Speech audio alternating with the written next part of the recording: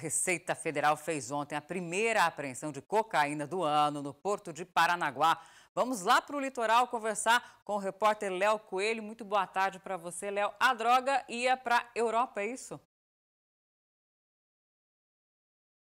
Oi, Ali, boa tarde para você, a todos que nos acompanham ao vivo aqui no Band Cidade. Exatamente, precisamente no porto de Las Palmas, na Espanha, um porto europeu que tinha como destino essa, essa droga, cerca de 22,5 kg de cocaína. Essa apreensão no porto de Paranaguá foi a primeira de 2024. Uh, todos os, os, agentes né, da Receita Federal que fazem é, de maneira contínua, né, rotineira, essa, essa vistoria nos contêineres que saem do porto de Paranaguá encontraram a droga armazenada em um contêiner refrigerado, né, com carne bovina. E aí encontraram mais de 22 quilos de cocaína com destino ao porto de Las Palmas, na Espanha. Primeira apreensão, portanto, de 2024. Só no ano passado foram 21 apreensões que totalizaram quase duas toneladas, cerca de 1.800 quilos de cocaína. As vistorias seguem diariamente, semanalmente com a Receita Federal, direto do Porto de Paranaguá.